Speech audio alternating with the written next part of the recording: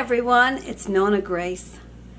Some days I have a lot to say and some days I'm kind of short on words. So today's going to be one of those short on words days.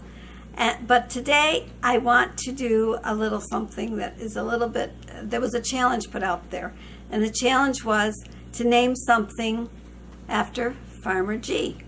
Well, Farmer G, I was looking around my house and thinking, what would I like to name after you? And you know who whispered in the air, said, name me, name me?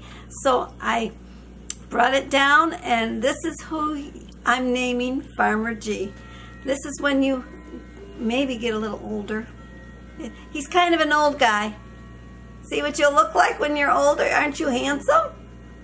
You have your tools, ready to go out and work. You have your straw hat. So this is Farmer G.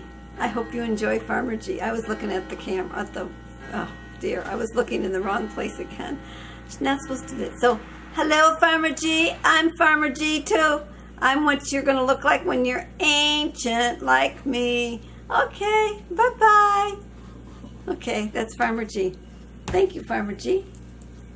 Okay, well, I guess that's it for today. Hope you enjoyed yourself and had a great day. I'll see you all tomorrow. Bye.